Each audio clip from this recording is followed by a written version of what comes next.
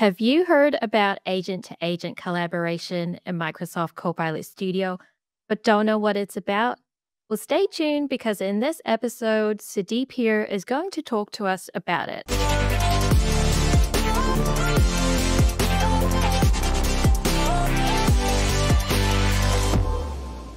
Welcome back to the Low Code Revolution Show.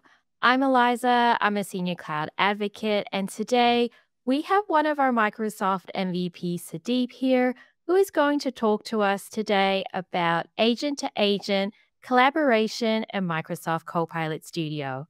I'm now going to hand it over to Sudeep, who's going to introduce himself. Welcome to the show, Sudeep. Thanks, Elaiza. And uh, good morning, everyone, or good evening, based on wherever you are. Uh, I live in New Zealand and I work for Theta as a practice lead. Uh, I'm also an MVP in business applications and M365. And like Elaiza said, uh, I'm going to talk on the new multi-agent communication in Copilot Studio.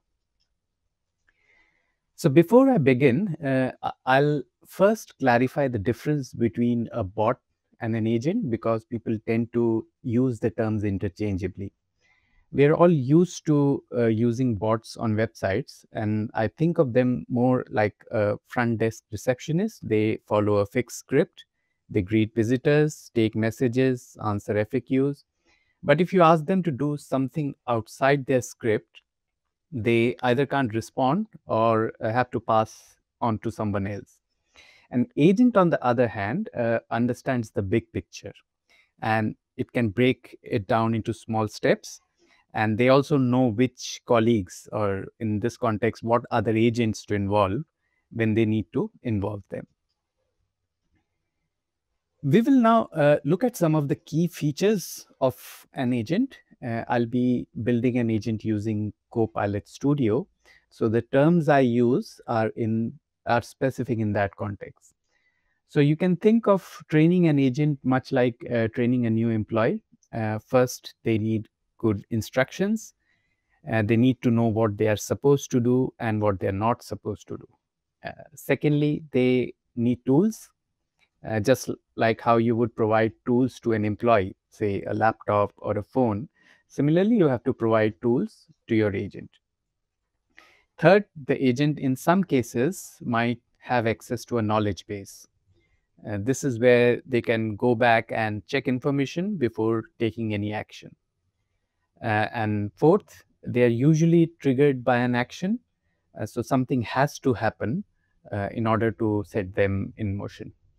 And finally, a new preview feature in Copilot Studio that I'll be talking about today uh, lets the agents talk to one another. The use case I'll be presenting today is of a staff recruitment process. So let's imagine the main person driving this process is the recruiter. Now, the recruiter doesn't work alone. They probably loop in an HR executive uh, to get the offer letter sorted. They might raise a ticket with IT to arrange a laptop. And they could also go and ask uh, office admin to check if there's a accommodation available for the new hires first couple of weeks. So today we can certainly build the recruitment process using existing automation tools and applicant tracking systems. Uh, but the catch is that in a conventional automation, uh, each stage of the recruitment process usually runs as its own separate workflow. And these workflows don't really talk to each other. And we often rely on complex integrations uh, or some manual tweaks. Uh, the other challenge is that traditional automation is built on uh, fixed and predefined logic. So if something changes, uh, say a candidate needs a slightly different onboarding path, we have to actually go in and manually update those rules. And finally, uh, there are issues of data formats. So passing information from one stage to another often relies on uh, APIs and often require strict data formats. So if the format changes for some reason, uh, these integrations break. So now, welcome to the agentic world. uh, the tasks are handled by specialized AI agents, and each agent is expert in one single area. So there's no super agents, so to say. The real power comes from how these agents collaborate and pass information between one another. So I'll be using the following setup for the demo. Uh, I am using a SharePoint list as a central repository for applicant records. And this list contains uh, information such as applicant names, their information, contact information, uh, dates, statuses, and all that. I'm using a Dataverse table to maintain a list of company assets, uh, primarily the laptops and the phones and all that. And uh, I have another Dataverse table uh, that is being used to track communication between the agents so that I can see what's going on. So now comes the fun part, the part of creating the agent itself. Uh, the first agent is the recruitment agent, uh, which is the main actor in our scenario. So it is supposed to coordinate the entire hiring journey and it will interact with all other agents.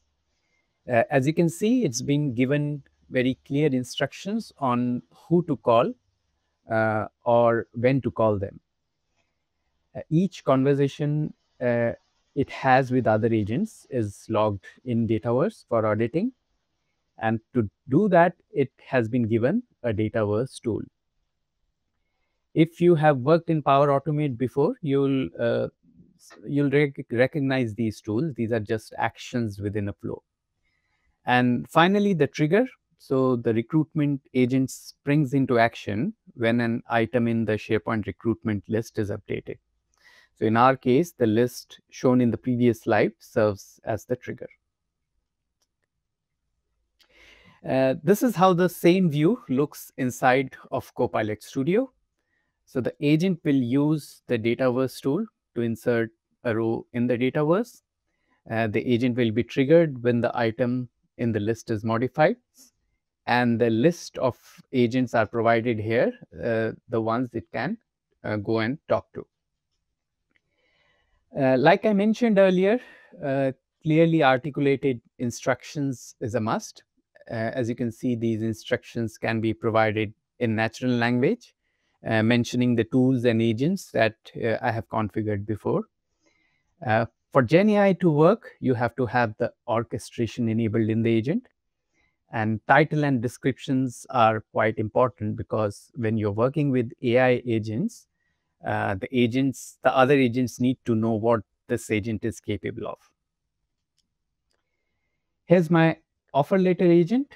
Uh, uh, it, it has three instructions. The one highlighted in yellow is its primary job. Uh, the other two invite are simply logging the conversation between the agents. So when it's time to generate an offer letter, this agent is going to call a Power Automate flow. And that's the reason I have equipped it with two tools, uh, one to trigger the flow and the other to insert a row into Dataverse. I mentioned earlier that the offer letter agent uses a flow to generate a document. So from Tools tab, you can simply look for the flow and add it to the agent.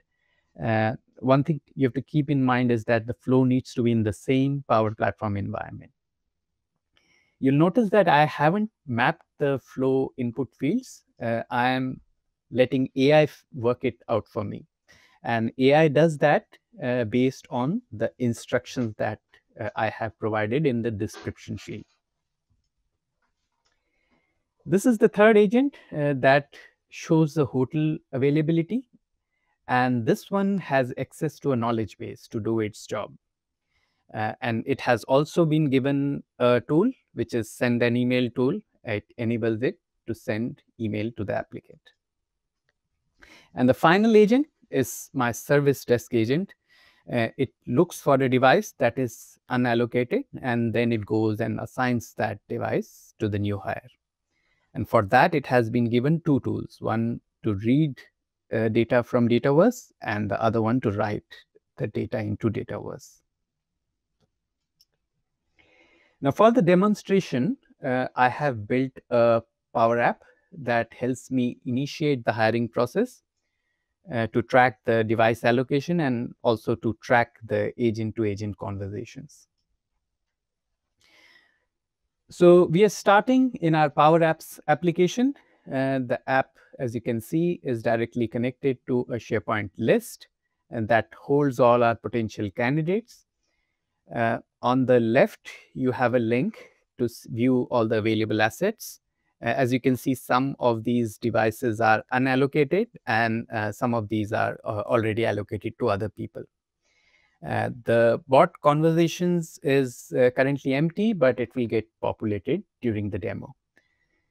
So let's go and hire a candidate. And uh, for today, what we are going to do is we'll hire Sudeep as the practice lead based out of Christchurch. And now let's go to the Copilot Studio interface. And the item update action in SharePoint has uh, set our recruitment agent into action.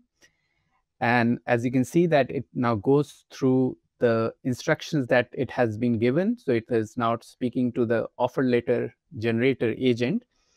And the flow is able to extract all that information from the natural language information that was given to it that you can see on the right hand side. And it has done its job. It has generated the offer letter and it passes it back to the recruitment assistant saying that I have completed my job. And that's the message uh, that it has sent that the offer letter has been already sent. It moves on to the office admin assistant. It's looking for hotel availability in Christchurch from the date of joining. Uh, it has come up with some options. The options have been uh, emailed to the applicant. There comes the email. And now it's going to the service desk uh, helper, which is looking for unallocated device. So it's it has found a device. It has allocated to uh, Sudeep. And with that, as you can see, the orchestration is complete. And now if we go back to our Power App and we'll just refresh the data sources, uh, first, we'll go and see the bot conversations. You can see for auditability, I've just been logging all that conversation. Uh, you can see how the bots interact with each other, and that might help you to improve the instructions if you see there's a communication gap. Uh, it, you'll see that uh, it has sent those emails as well, and it has assigned a laptop, which is 13098. So if you go to available devices, you see that the device has been allocated to the new person, to the new hire. If we look at the uh, offer letter that was generated, Flow used a, a template that was being provided to it, and it has just used filled those placeholders with the information and that the assistant had passed on to it. And you can also see that it has uh, sent the list of hotels that it could find in the area, in, in the Christchurch area around that time. So what you just saw uh, is that how four simple agents coordinated between themselves uh, to build uh, such a complex process. And each agent uh, was simple in itself, but what uh, just by working together, uh, they make it look like there's a super agent that is working in, in behind the scenes. Yes, Sudeep, I really liked how in the Canvas app you have that visibility where the agents are communicating to each to each other, like servicing that up onto the Canvas app. I think that's really smart. Yeah, thanks. It's really thanks, cool. Thanks, Elaiza. And uh, like I said, that it often helps uh, if you can find there's a communication gap, uh, like the agent has not been able to communicate something properly to the other agent, that's when you know that you have to go and modify the instructions to make it uh, work better. Yeah, it, it's it's really going to be helpful for iterative development right. when, as you say, you need to modify and make some changes to make it work better. Good. So just summarizing, uh, connecting other agents is still a preview feature. Uh, I'll share a link to this article in the video description. Uh, so I'll invite each one of you to go check it out. And that's all I have to share today. And thanks for having me on the show. Back to you, Elaiza. Thanks, Sudeep. And I'm assuming that on this page, um, it will highlight some of the limitations Yes, of you're right. Yeah, previous correct, correct. There are some Okay. limitations. For instance, uh, you can't connect to uh, an existing agent that's already connected to other agents.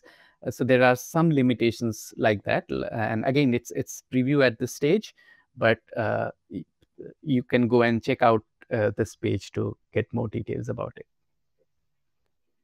Thanks, Sudeep. Well, I'm sure all of our viewers have learned something new today with how agents can work together in Microsoft Copilot Studio. So thank you very much, Sudeep, for your time. And thank you, everyone, for tuning in to this episode of the Low Code Revolution Show. We'll see you next time. Bye. Bye.